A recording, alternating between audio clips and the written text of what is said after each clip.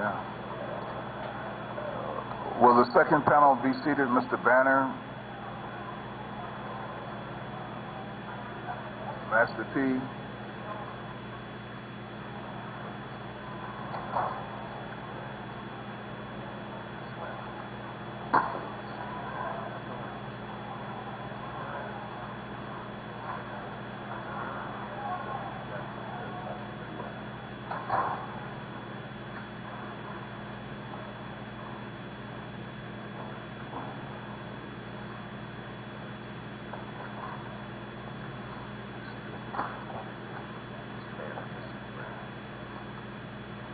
Let me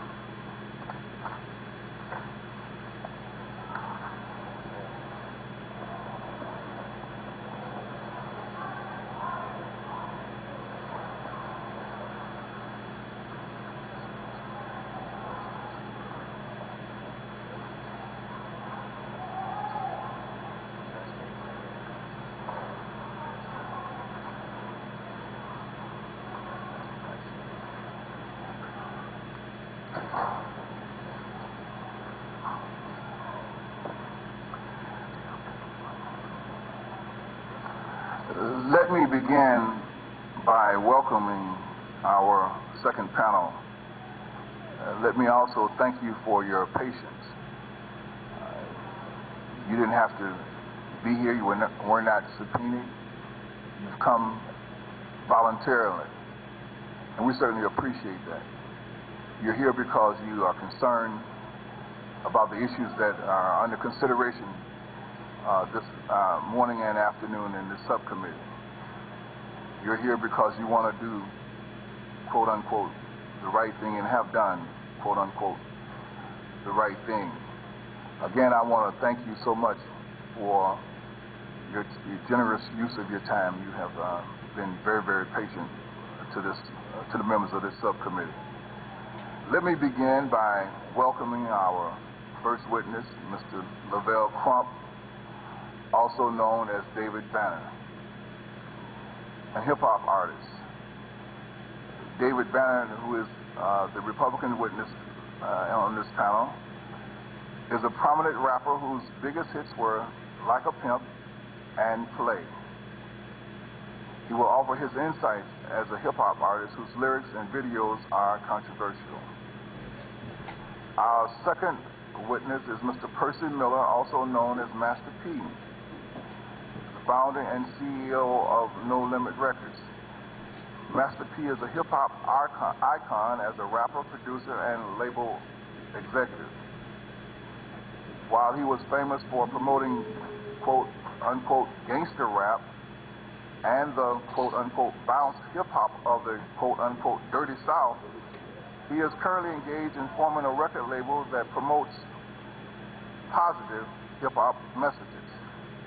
And lastly, our witness on the second panel is Mr. Michael Eric Dyson, PhD, who's a professor at Georgetown University. My friend Michael Eric Dyson is the author of uh, Know What I Mean, Reflections on Hip Hop, and the other book is Bill Cosby Right, or Has the Black Middle Class Lost Its Mind? Professor Dyson teaches theology, English, and African American studies, and is one of the America's premier academic scholars on hip hop. Again, welcome you, and we will open it up now with uh, five minutes of testimony from Mr. Uh, David Banner. Thank you.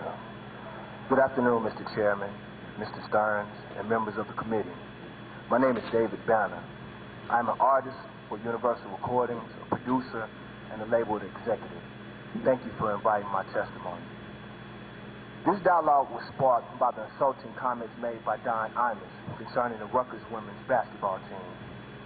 Imus lost his job, but later secured a million dollar contract with another station. While he, while it seems that he's been rewarded, the hip hop industry is left under public scrutiny. As this dialogue played out in the media, the voices of the people who created hip hop music were silent. We were not we were not invited to participate on most of the panels, nor given the opportunity to publicly refute any of the accusations hurled at us. It is of the utmost importance that the people whose livelihood is at stake be made a vital part of this process. That's why I thank you guys today. I'm from Jackson, Mississippi. Jackson is one of the most violent cities in the United States. Much like D.C., Jackson stays in the murder capital run. When I was growing up, it was always ranked as one of the top 10 cities for the highest number of murders per capita. Honestly, rap music is what kept me out of trouble. Statistics will never show the positive side of rap because statistics don't reflect what you don't do if you don't commit a murder or a crime. When I would feel angry I would, and, and, and would want to get revenge, I would listen to Tupac. His anger in the song would replace my anger, and I would live vicariously through his music. Rap music is the voice of the underbelly of America, and in most cases, America wants to hide the negative that it does to its people. Hip hop is that voice. And how dare America even consider not giving us the opportunity to be heard? I'm one of the few artists who went to college. And to this day, I see my friends who also attended college with me and graduated unable to get jobs. The truth is, what we do sells. And oftentimes, artists do try to do different types of music, and it doesn't sell. In America, the media only lifts up negativity. People consider me to be a philanthropist. I give away a quarter of my yearly earnings to send children from impoverished neighborhoods to different cities. Disneyland. This gives them another vision. Rap music has changed my life and all of those around me. It has given me the opportunity to eat. I remember sending 88 kids from the inner city on a trip. I went to the local newspaper and the television stations only to be told that the trip was not newsworthy. But if I shot somebody, it would be all over the news.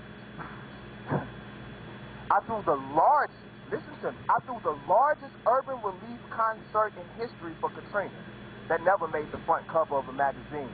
But as soon as I say something negative and rise up against my own or be sharp at the mouth, no pun intended,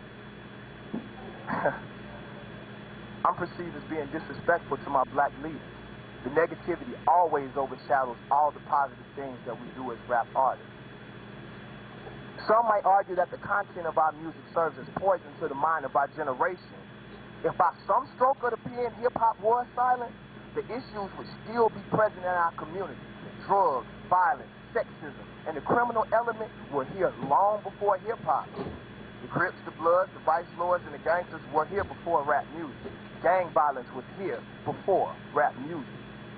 Our consumers come from a various socioeconomic background and cultures. While many are underprivileged, a large percentage of, it are, percentage of those people are educated professionals.